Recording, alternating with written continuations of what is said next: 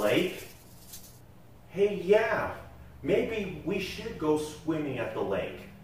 No, it's a clue. Mm-hmm. The lake sounds pretty fun. And a great way to cool off. A clue! Right there! Oh yeah, there is a clue right there. On these inner tubes. You know what we need? Our handy dandy Notebook. notebook, right? So, inner tubes. So we draw a circle, then a smaller circle inside like a donut at the handles. Then we draw an amorphous shape like this.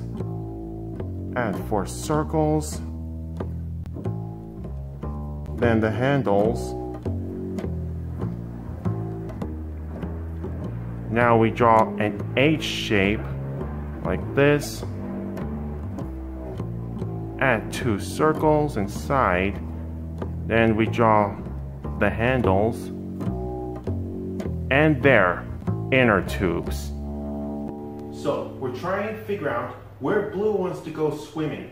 And our first clue is inner tubes. So, where does Blue want to go swimming with inner tubes?